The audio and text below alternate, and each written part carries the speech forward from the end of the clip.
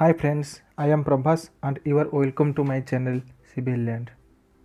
In this video, we will discuss about cause of fire in residential buildings and its preventive measures. Nowadays, fire in residential building becomes a major problem for all. Due to lack of proper firefighting system, fire causes lots of problem as well as life losses.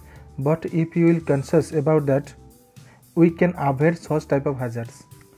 Now comes to common causes of fires in residential buildings. First, cooking equipment. When a pot or pan overheats or splatters greases, it can take a second to cause to catch fire.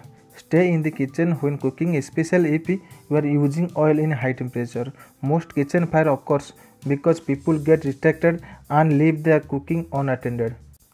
Second, heating equipment. If you are staying in cold area and uses heating furnace, you have to inspect your furnace annually by a qualified technician and keep your chimney clean and inspected annually. Keep portable heaters at least 1 meter away from anything that can burn and install a carbon monoxide alarm to alert you to deadly carbon monoxide gases. Third, careless smoking.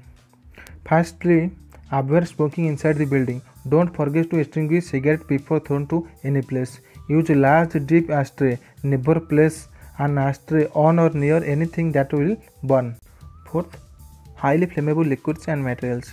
Don't store highly flammable liquids and materials inside the room because it can ignite or explode if stored improperly. Avoid using generator inside the room during night. Fifth causes improper building plans and use of flammable material for interior design. Construct house with proper approved plans that is there should be adequate opening or exit in the case fire happens. Balcony must be provided every bedroom. Don't use wooden materials on staircase area or near exit area because in case of fire you cannot escape from the room. Don't use sensor lock doors because that may fail to operate during the electrical fire. Sixth one is electrical fire. Nowadays, main cause of fire occurs due to electrical fire. Let's discuss what are the causes of electrical fire and its use of all electrical sockets and unsafe appliances. Using light fixtures that exceed the permissible wattage. Wiring that becomes defective with the passage of time. Preventives. Increase the frequency of checking for electrical appliances. Avoid using extension cords for lighting process. Day by day, use of number of appliances increases we have to check all wiring at least one to two times in every year whether the existing wiring is able to take the additional loads or not and if necessary we have to replace it. Besides this we have to install fire and smoke detecting equipment in house so that we can able to know fire before it spreads. Keeping portable fire extinguisher will be very valuable steps. These equipments easily available in market and with a reasonable cost.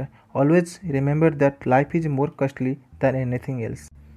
If you like this video, please subscribe my channel and also like and share this. If you have any doubt or any suggestion, you can comment us. I will try to reply you as soon as possible. I will come with a new topic soon. Thank you for watching. Goodbye.